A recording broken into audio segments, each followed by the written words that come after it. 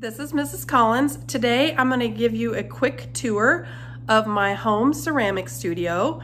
It's taken me many years to collect everything that I need to have my own studio in my garage and I just want to share some of that with you, maybe some tips on storage and let you know um, some things that can be used in untraditional ways to help you make art.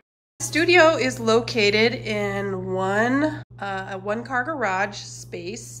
Uh, this is one tip that I really love that I just I learned about online of how someone used a pantry um, holder to contain all their glazes and that was brilliant so I added it on a bookshelf. When you have a studio space I think you can never have enough shelves so I whenever I can find a bookshelf at a garage sale for five dollars or $10 I buy it so I can use it to stack projects up on.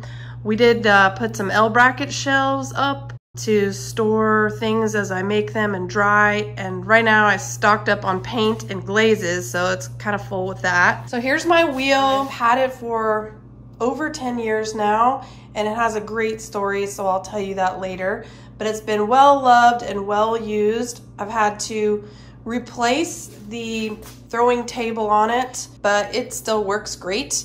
This door right here leads onto our backyard patio, and I right now I have it rigged up so the dogs can't come in and um, interfere with my creations.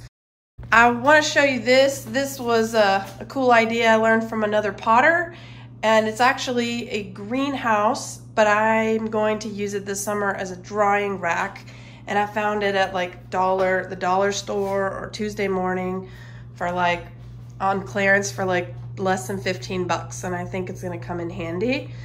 I have some mold making materials and I'm stocked up with clay.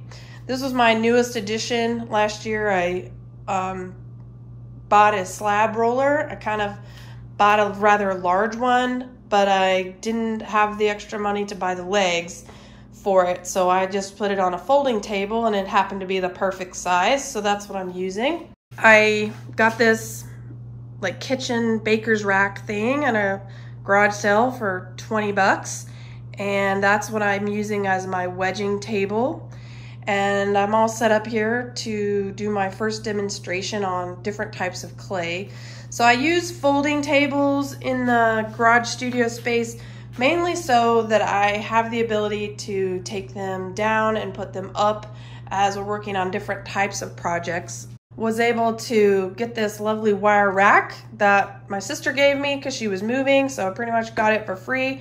And I use it for my kiln furniture and shelves, and I do that so when they come out of the kiln and they're hot, they won't um, start a fire by being on a wooden or plastic shelf of any kind. And then here's my kiln. I got it from the same beautiful lady who I bought uh, my wheel from. And it is computerized, which is nice. But I recently learned that the new Skutts can do some pretty fancy things. And recently, um, my husband engineered for me a rolling cart that's pretty awesome. I've put some fire bricks on there to help with insulating and um, trying not to let that wood overheat. Uh, I'd like to cover it with metal or um, do a little work on it. But the reason we went for a rolling cart was because um, this garage is used for maintenance on mowers and all sorts of things. So we needed to have the ability to move my kiln and we had to put the, um, have someone put the electrical plug in for us. So I have the ability to move it I purposely put the plug close to the garage door. So that way, when and if we want to do raku in this new space, I have the ability to put the garage door up and down.